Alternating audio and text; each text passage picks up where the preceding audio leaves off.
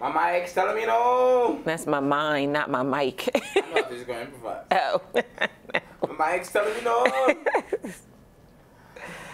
but my readers, my readers keep telling me that, baby. Are you ready?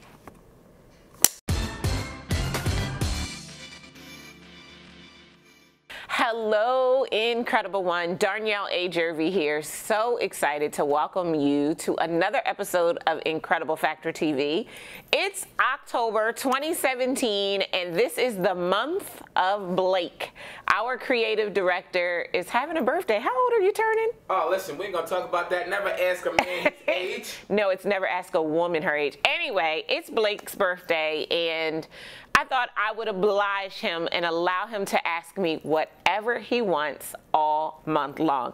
Listen, sidebar, full disclosure, I have no idea what he's going to ask me, and I'm hoping that he won't stump me too hard. But I said, let's have a little fun.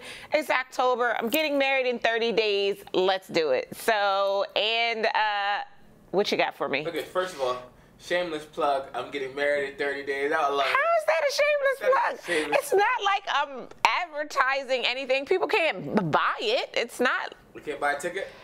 No. How many, how many guests do we have? Uh, that we don't know yet. The invitations are out. We don't know how many people are going to RSVP and say yes. All right. It's going to be intimate. intimate, intimate weddings, which is really dope.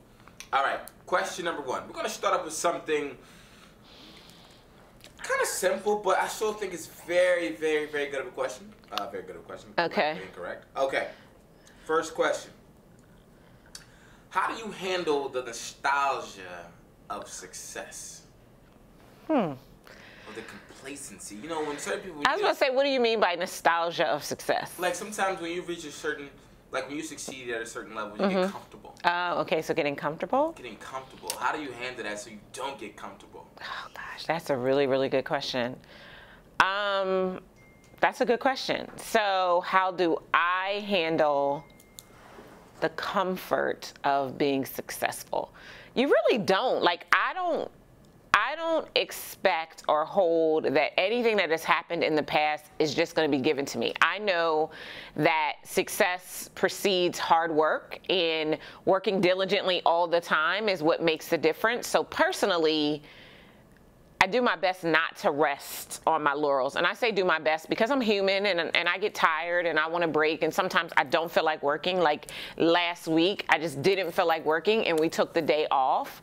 But I think because I have a team and because we have goals, we're constantly focused in on what it is that we need to do in order to achieve our goals. So, three things that I would recommend that a person who's feeling a little bit comfortable in their success do.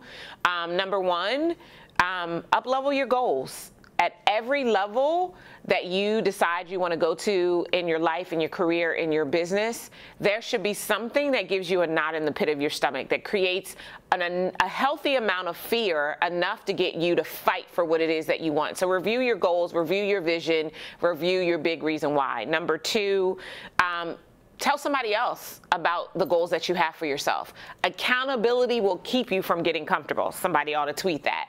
Accountability will keep you from getting comfortable. So whether you have a coach or, you know, your ace boon coon or whoever it is that you can share your goals with and they will support and edify and celebrate you in that moment, but also more importantly hold you accountable, that'll keep you from being comfortable. And number 3, I think this is probably the most important of all of the keys that I would give you to keep from being complacent would be to make sure that every single day you are doing something that brings you closer to your goals. If you set a mantra for yourself that before this day ends, I need to do something, one thing that will get me closer to the achievement of my, of my goals, that'll keep you from being comfortable and complacent. But now I want to hear from you. What's your two cents? What do you think? How do you deal with, or what do you do when you're feeling comfortable in your success? Do you sit back and kick your, your heels up, or do you find something else, a new moniker, something to reach for so that complacency is not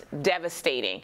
I can't wait for you to join us for the after party that goes down on our blog immediately following the episode so that you can share your two cents with us. And if you enjoyed this episode, do yourself a favor and subscribe subscribe, you can do it right here by hitting the subscribe key. Then go ahead and use social media to share it with your friends, fans, and followers.